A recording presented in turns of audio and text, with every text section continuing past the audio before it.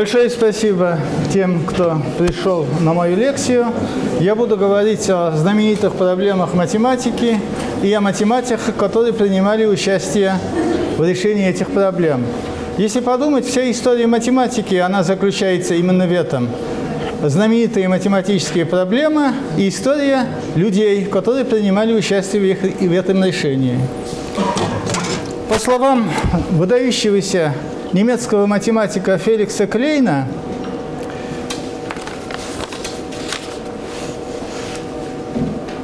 один из самых примечательных законов человеческой истории состоит в том, что само время таит в себе великие идеи и проблемы, и в моменты их созревания она ставит их, может быть, даже навязывает, осененным гениальностью умам. Эти слова Феликс Клейн говорил по поводу открытия а, неевклидовой геометрии Николаем Ивановичем Лобачевским. Развитие математики во многом стимулируется математическими проблемами. Хорошо поставленная математическая проблема, решение которой не удается найти, говорит о необходимости критического пересмотра существующих методов исследования, о недостаточности той совокупности знаний, к которой относится проблема, и таким образом способствует дальнейшему развитию этой области науки.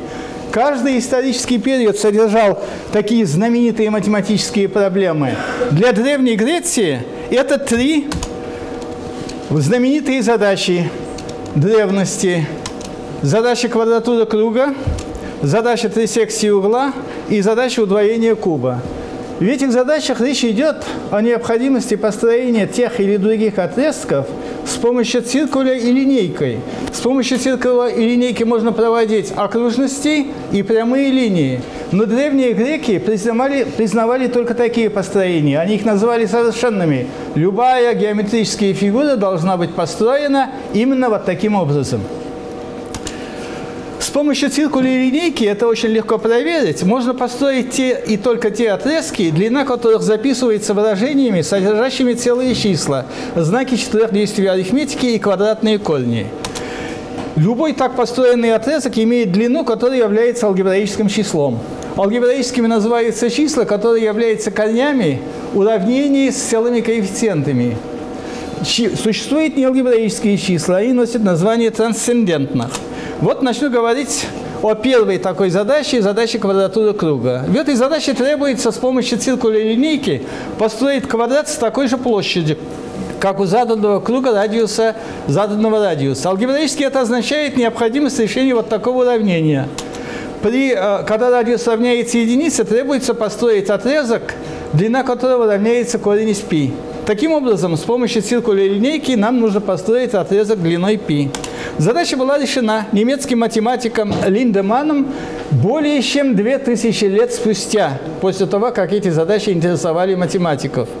В 1882 году.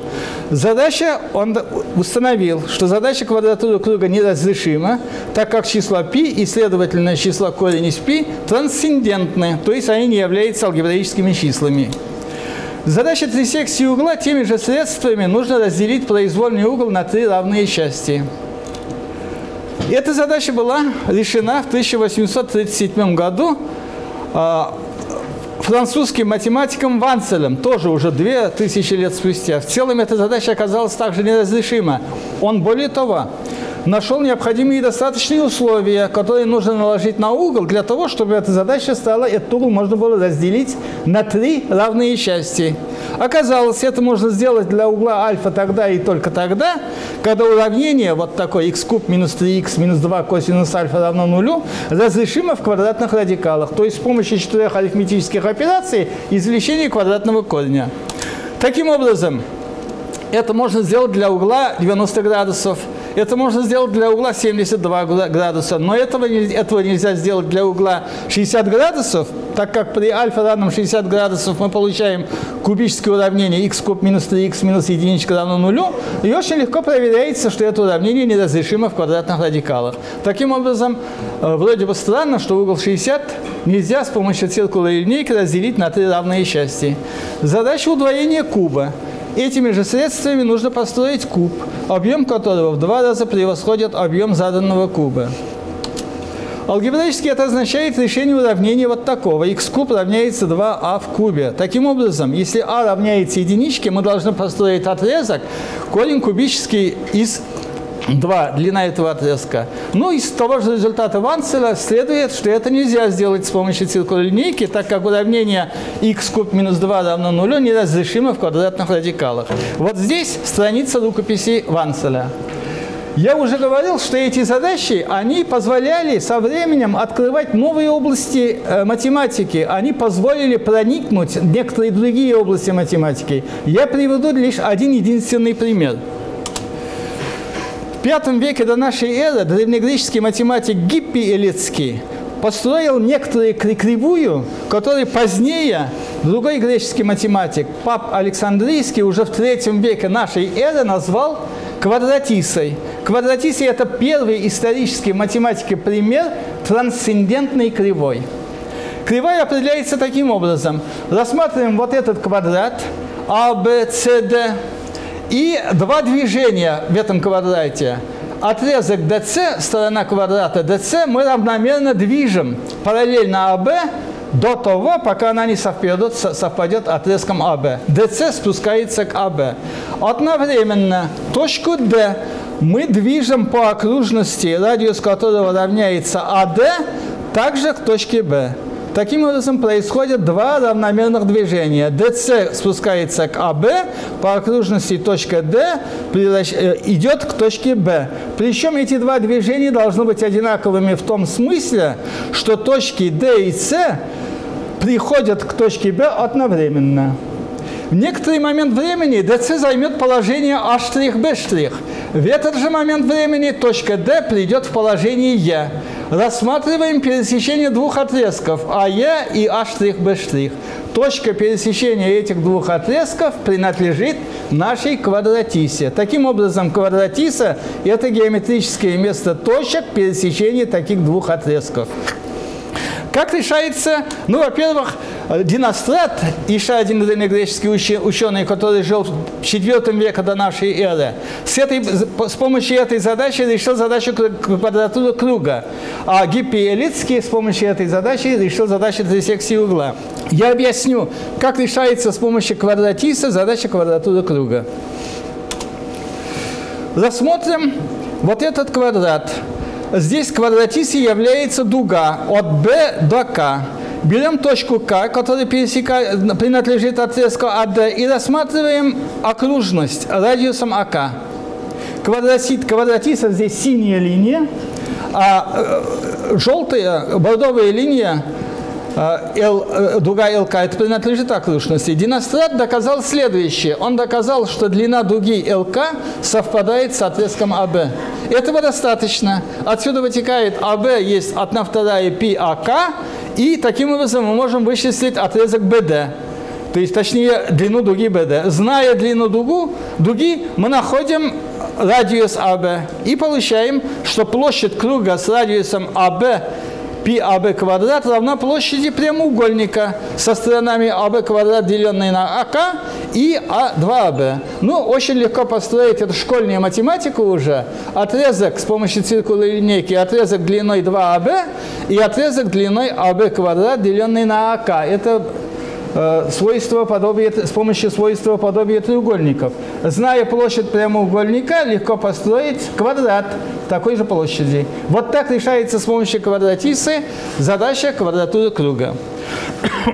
Следующий блистательный пример формулировки важнейших задач математики я приведу здесь, принадлежит великому немецкому математику Давиду Гильберту. 1900 году в августе в Париже состоялся международный конгресс. Обратите внимание на дату. 1900 – это рубеж двух веков.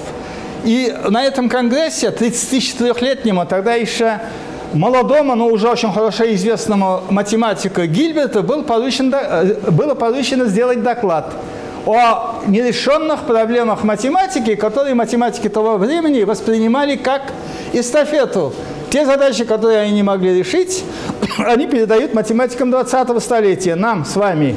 хотя вы уже математик 25 21 столетия, я принадлежу к математикам 20 столетия, и некоторые другие здесь. Математикам 20 столетия как э, задача на будущее – Доклад содержал 23 наиболее интересные с точки зрения Гильберта математические проблемы, исследование которых, по словам Гильберта, может значительно стимулировать дальнейшее развитие науки. Ну, у нас в России издана книга «Проблема Гильберта». Это перевод на русский язык немецкого оригинала. Предисловие этой книги написал академик Павел Сергеевич Александров. Вот здесь я привожу его слова по поводу этих проблем. Эти проблемы, пишет Павел Сергеевич, ставшие знаменитыми как проблемы Гильберта, оказали исключительное влияние на математику 20-го столетия. Развитие идей, связанных с содержанием этих проблем, составило значительную часть математики 20-го столетия. Я не буду перечислять здесь все проблемы Гильберта, я перечислю только некоторые из них, но те, которые нам, для меня наиболее интересные. Это первая проблема Гильберта – континуум гипотеза. Ну, возьмем множество действительных чисел. Там два принципиальных разных бесконечных множества. Множество натуральных чисел. Мощность этого множества счетна. Математики первого курса это, наверное, уже знают. Возьмем множество действительных чисел. Это множество несчетно. Доказывается очень легко канторовским диагональным методом. Все две, любые две мощности, они сравнимы между собой. Мощность множества действительных чисел называется эта мощность мощностью континуума. Она строго больше мощности счетного множества, мощности множества натуральных чисел. Континуум гипотеза утверждает, что это между этими двумя мощностями нет других мощностей. То есть любое подмножество множества действительных чисел либо счетно, либо равномощно множеству всех действительных чисел. Это исключительно важная проблема не только для математиков, которые работают в теории множеств, но фактически вся математика, она опирается в той или иной мере, иногда мы сами это не замечаем, на теорию множеств. Поэтому ответ на этот вопрос, он принципиален. Сам основатель наивной классической теории множеств, Георг Кантор, пытался неоднократно решить эту проблему. Более того, он предъявлял несколько раз доказательства этой теоремы, но каждый раз им самим была обнаружена ошибка. Первый серьезный успех в решении этой проблемы был сделан выдающимся немецким математиком Геделем. Гёдель в 1940 году, тогда 34, ну уже знаменитый математик, установил, что забыл сказать. Когда мы изучаем теорию множества, мы должны опираться на некоторую аксиоматику. Общепринято и со времен Гильберта аксиоматика Цермела Френкеля. Я уж не буду аксиомы перечислять. Плюс аксиома выбора. Она не зависит от аксиом Цермела Френкеля. Вот вся совокупность этих аксиом, аксиома Цермела Френкеля плюс аксиома выбора, они составляют формализм теории множеств. Гёдель доказал, опираясь на эти аксиомы, нельзя опровергнуть континуум гипотезу. То есть отрицание континуум гипотезы недоказуемо, при условии, что сама система аксиом недоказуема. Не, не чуть виноват. При условии, что сама система аксиом Сермела Френкеля вместе с аксиомой выбора не противоречива. Это утверждение не доказано до сих пор. Вот если теория множеств в этом смысле, формальнее, формализм теории множеств не противоречив – пока мы это не знаем. Если он противоречив, то все можно доказать. То те, которые слушали курс по математической логике, знают, если теория противоречива, там все что угодно можно доказать. Любое утверждение доказуемо. Если теория множества в этом смысле не, не противоречива, тогда континуум гипотезы опровергнуть нельзя. Остается доказать. Вот после того, как Гёдель доказал свои теоремы, пошли работы по попытках доказать это утверждение. Это было сделано в 1963 году знаменитым американским математиком Коэном. Он установил, оказывается, и утверждение, не только отрицание, но и утверждение нельзя вывести из аксиом теории множества. Она независима с аксиомами теории множества, это утверждение. То есть не доказать, не опровергнуть нельзя.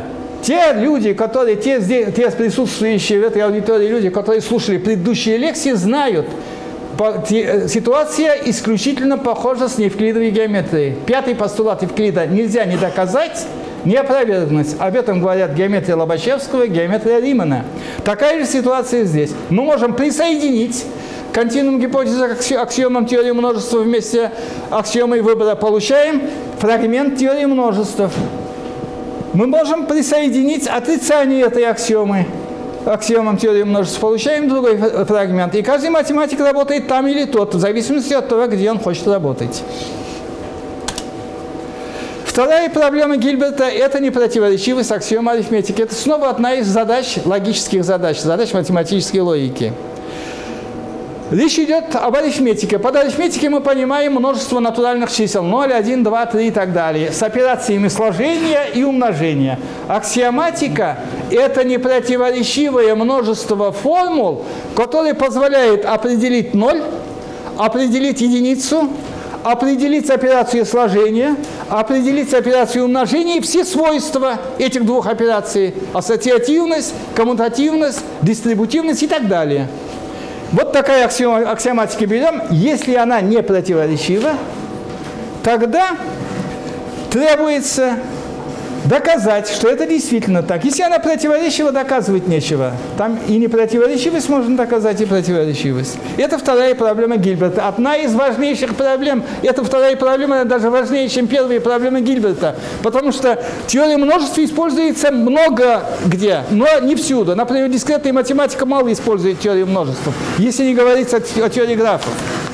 Но опять, это оказалось самой трудной проблемой. Тут не было никакого успеха, никакого продвижения. Хотя в области теории множества с первой проблемой Гильберта, как со всеми остальными проблемами, были какие-то частичные результаты. Здесь ничего не было. Пока снова тот же Гёдель не доказал свои знаменитые первые и вторые теоремы о неполноте.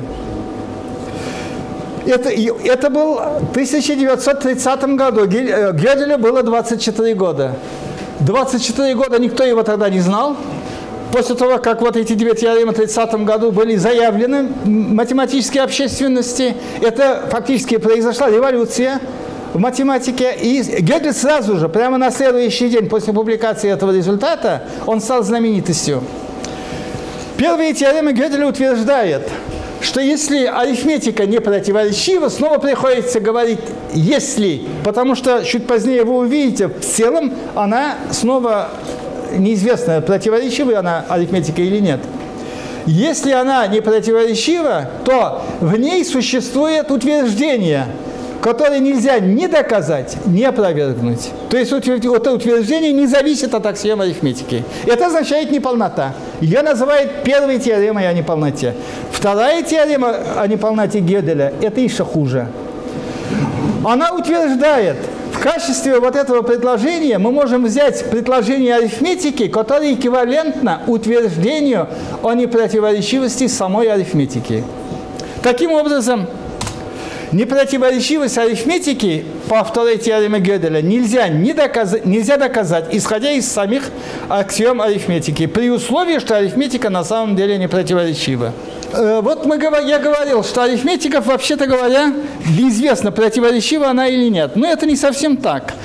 Был, есть, был, это в 30-х годах прошлого столетия он жил, американский математик Генсен – он, используя некоторые комбинаторные рассуждения дополнительные и так называемая примитивно-рекурсивная арифметику и ординала, бесконечные ординала, сумел доказать непротиворечивость вот той арифметики, о которой я говорю. На самом деле здесь положение оказалось немного лучше, чем с аксиоматикой теории множеств. Поэтому это уже зависит от того. Если вас устраивает, если математика устраивает вот эти рассуждения Генсена, они говорят, арифметика не противоречива. Если же, а таких тоже много, математика не устраивает рассуждения Генсена, а это не обязательно их должно устраивать, потому что там тут привлекаются уже те средства, которые недопустимы и неформализуемы в арифметике. Арифметика не противоречива. Непротиворечивость арифметика для них не доказана. Но здесь все-таки в этих двух теоремах Гёделя, какими бы они выдающимися не были, говорится о существовании некоторой формулы, которые нельзя ни доказать, ни опровергнуть. Но сама формула, само утверждение арифметики, само свойство натуральных чисел не предъявлено. Это сделали снова американцы. Харрингтон и Парис в 1977 году. Они нашли конкретные комбинаторные утверждения, которые формализуются в арифметике.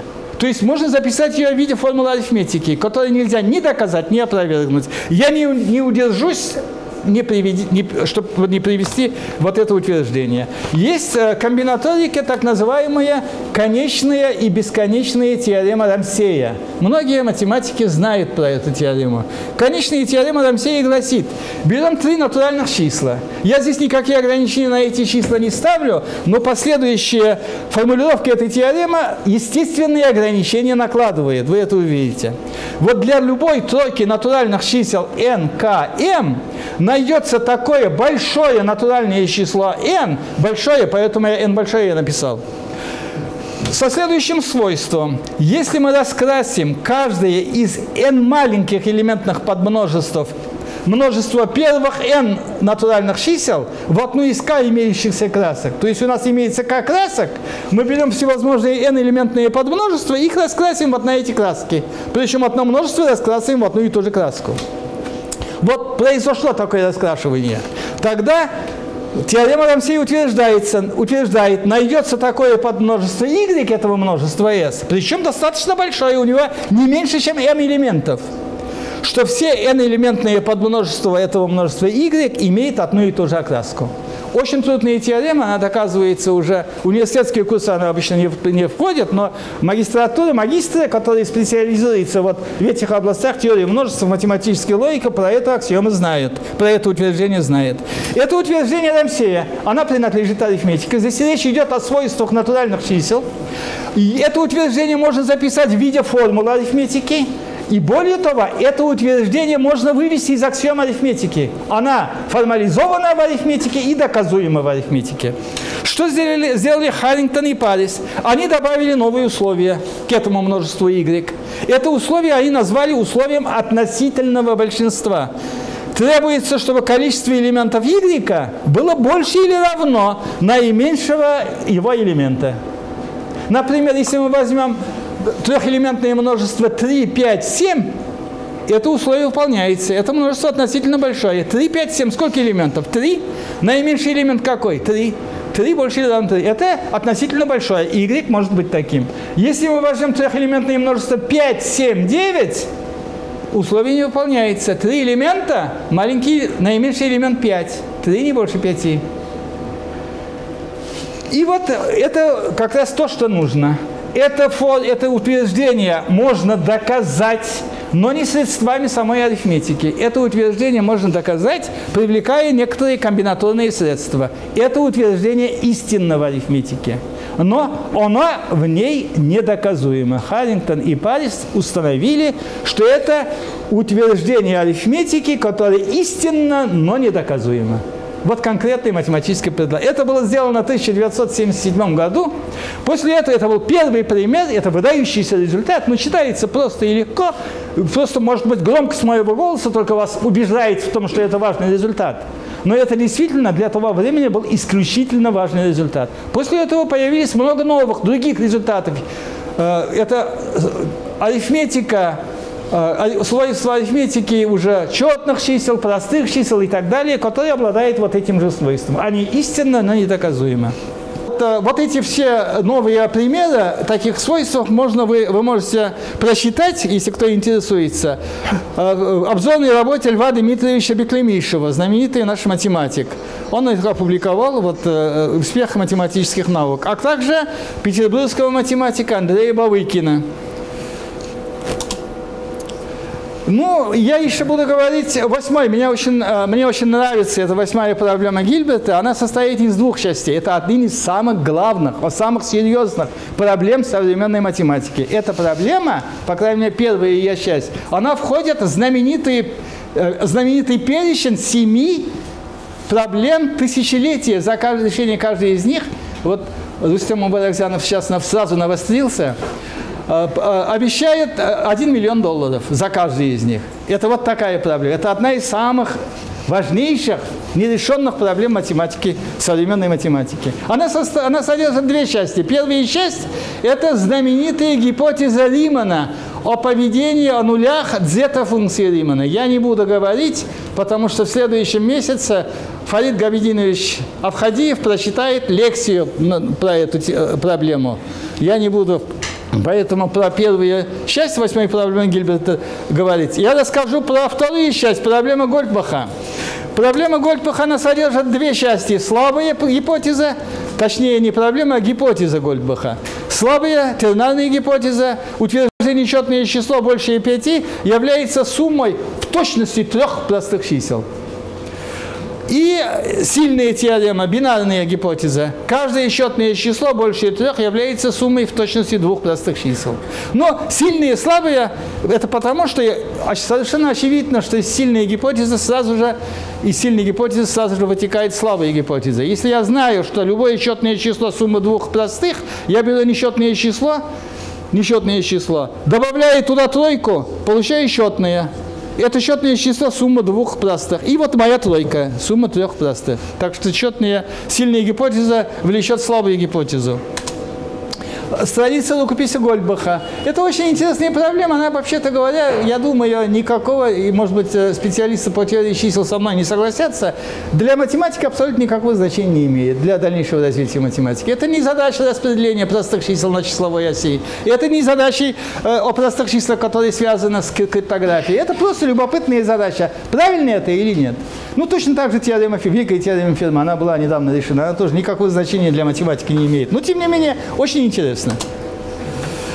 Кстати, вот э, говорят, что эта гипотеза была сформулирована Гольдбахом. На самом деле Декарт еще в 17 столетии знал про эту проблему. По крайней мере, ему принадлежат вот такие слова. Он пишет, но также каждое счетное число составлено из одного, двух или трех простых чисел. Конечно, это не формулировка гипотезы Гольдбаха, но эта э, формулировка уже говорит о том, что Декарт знал про эту задачу, хотя я не сформулировал.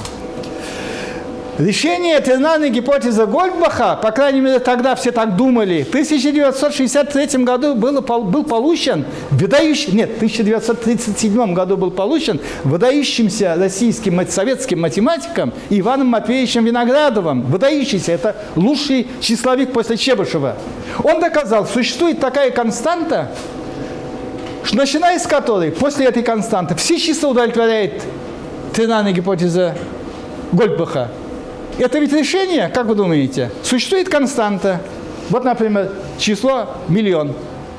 Все числа больше из числа миллиона удовлетворяет этой гипотезе. Это Виноградов доказал. А для до миллиона я беру, да, и считаю, проверяю. Тут уже это не математически, никакой трудности нет, просто надо считать. И все думали, сам Виноградов с удовольствием говорил, что он решил тернарные проблемы Гильберта, то есть тернарные гипотезы Гольбаха. Это было такое мнение держалось до тех пор, пока его ученик Константин Бороздин не подсчитал эту константу. Он изучил доказательства Виноградова и определил, константа вот такая, 10 в такой степени. Ну, видите, на экране занимает совсем мало места. Много это или мало? Можно на компьютере проверить? Здесь астрономы есть или нет? Если не и нет, ну нет. Но э, каково количество, примерно количество элементарных частиц нашей Вселенной? Кто знает? 1081. 1081. 1081 степени – это количество элементарных частиц нашей Вселенной. Так попробуйте проверить. Когда Бороздин это подсчитал, сразу же желание объявить о, решен, о, о том, что проблема тернарная гипотеза э, Гольдбаха решена, прекратились разговоры об этом. Я думаю, этого натурального числа просто не существует. Таким образом, тернарная гипотеза Гольдбаха остается открытой тогда.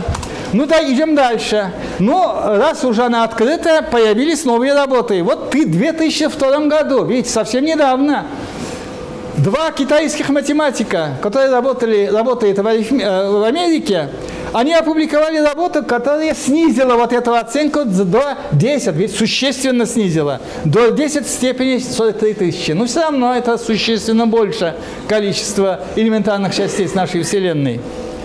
Так что оценка улучшена, но все равно высокая. Дальше.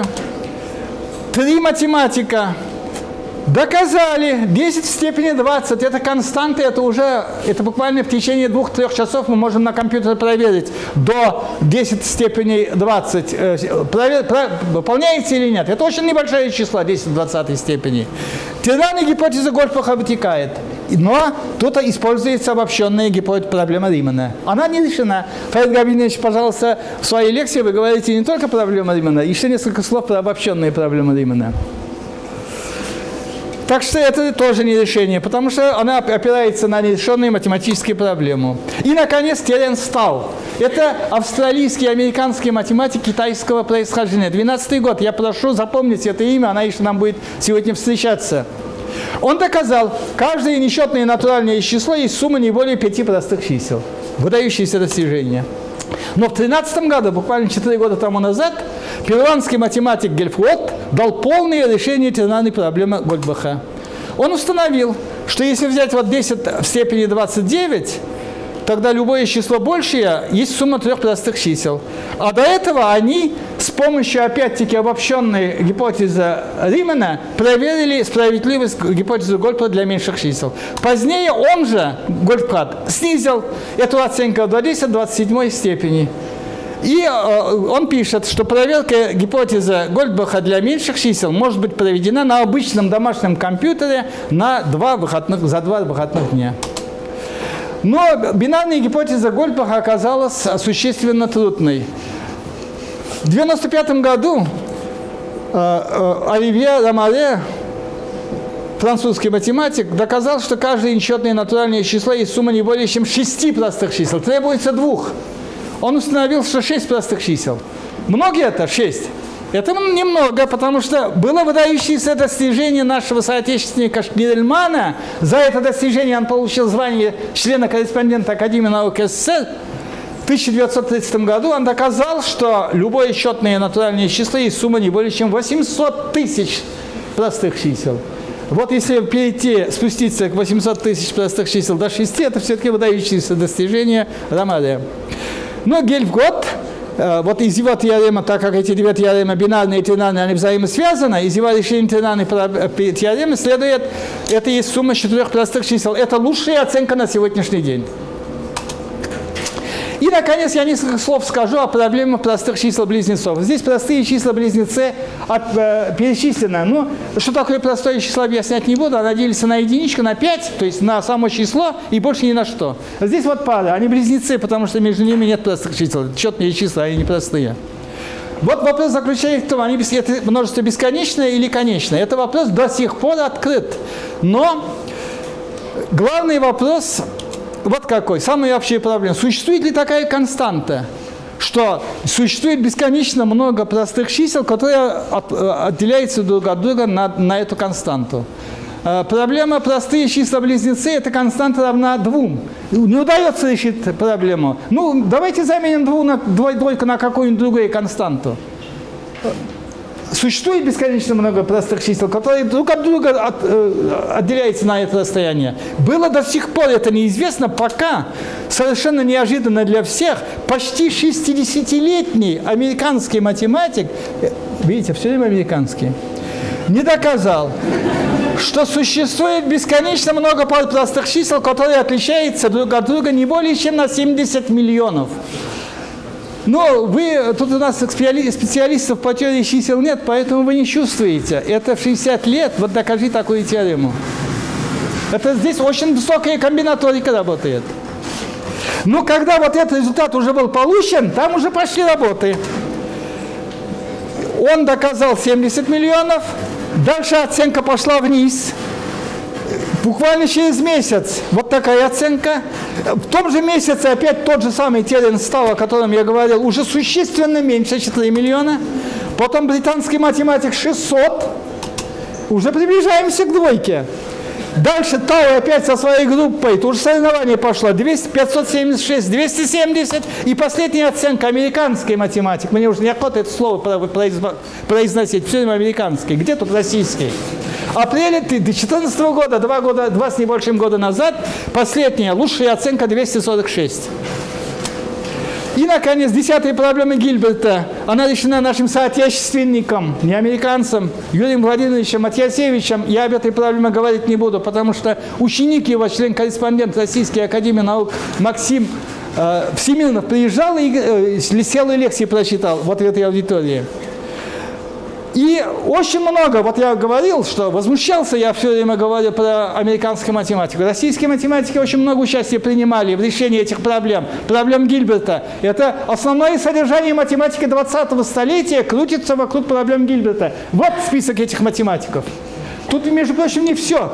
Потому что Колмогоров Андрей Николаевич, он не только 13-й проблему вместе с Арнольдом решил, он еще, ему принадлежит решение шестой проблемы Гильберта, где говорится о необходимости аксиоматического построения теории вероятности. Специалисты по теории вероятности, здесь, по-моему, есть э, Бекшентаев.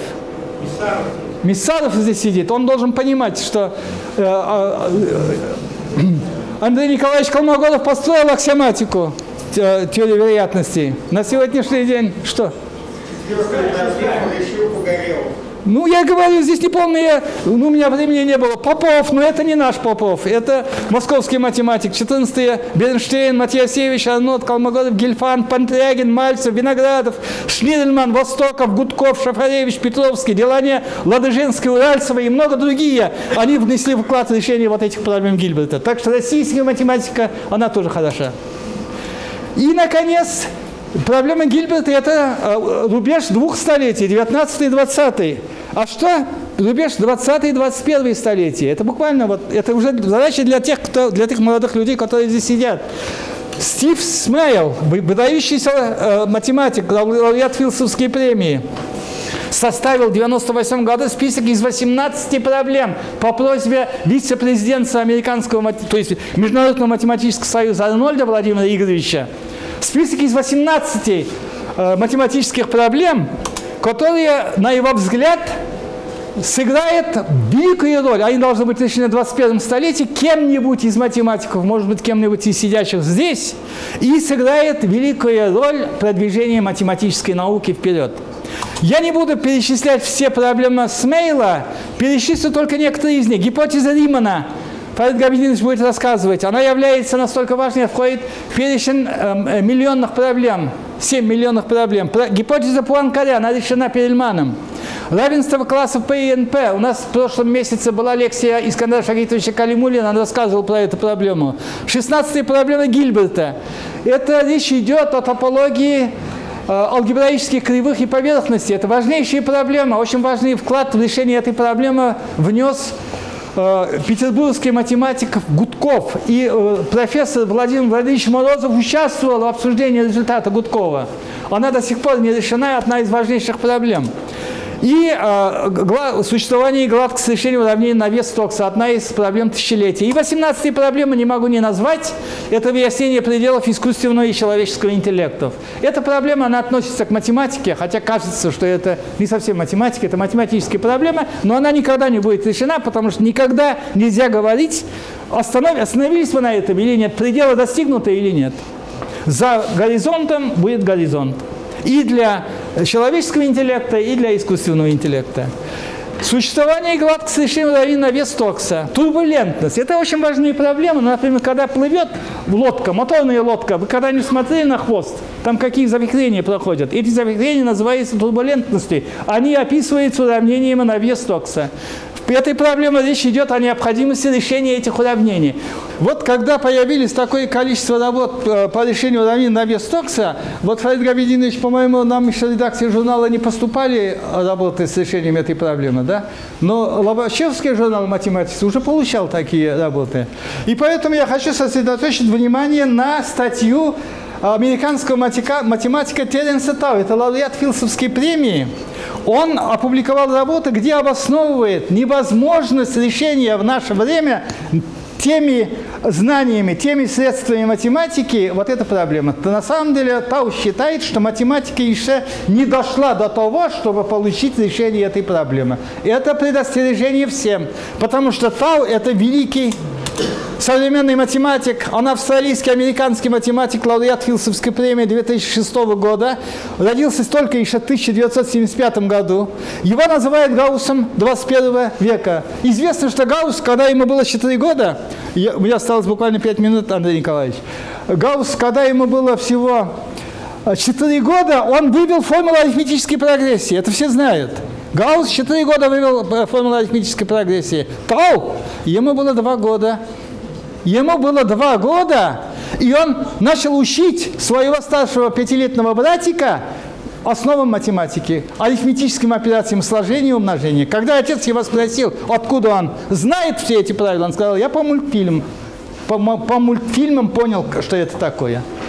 Это великий э, современный математик, его называют Гауссом 21 века, и поэтому каждое его суждение в области математики нужно воспринимать всерьез.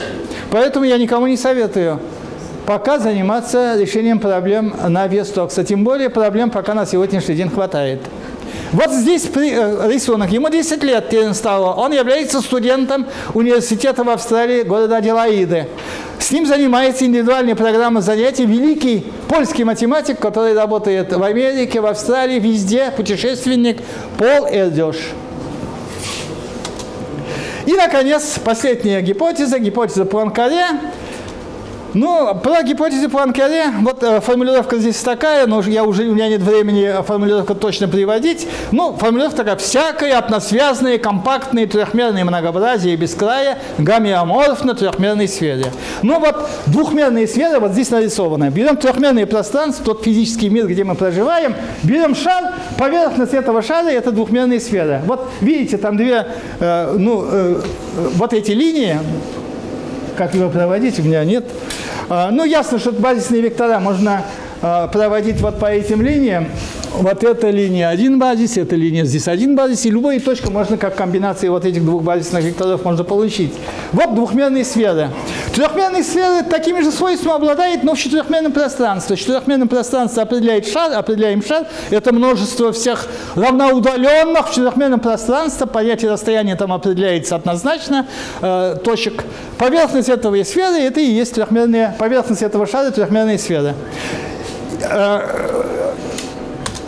трехмерное топологическое многообразие без края. Я не буду говорить, что это такое. Это естественное многообразие. Очень трудно построить топологические пространства. Ну, э, многообразие, ну, ну, край, вы понимаете, вот берем, вот он край. Это нечто Э, уточнение вот это математического уточнение для топологического пространства это понятие. Главное здесь односвязанность. Односвязанность. Это мы берем, бросаем на поверхность, на многообразие любую нитку, их можно стянуть в точку. Например, на, на сфере, если я положу какую-нибудь линию проведу, может, всегда можно стянуть в точку. А вот если бублик, вот бублик, крендель, я могу его так э, положить, что я точку не стянешь, пока не разрежешь, пополам этот крендель. Вот что значит односвязанность. Вот считается, что наша Вселенная, она является односвязанной без края топологическим компактным пространством. Наша Вселенная. Поэтому гипотеза Пуанкаре утверждает, что наша Вселенная, она гомеоморфна трехмерной сфере. Ну, решение было получено Григорием Яковлевичем Перельманом, вы знаете. Он доказал, что это действительно так. Любая вот такая, такое топологическое многообразие, она гомеоморф на трехмерной сфере. Таким образом, один математический гений, гений Анри Пуанкаре предположил, что те свойства Вселенной, которые устойчивы под гомеоморфизмами, можно изучать, изучая свойства трехмерной сферы. Другой математический гений, наш современник Григорий Яковлевич Перельман, доказал, что это действительно так. Вот на этой торжественной ноте я хотел бы закончить свое выступление. Спасибо.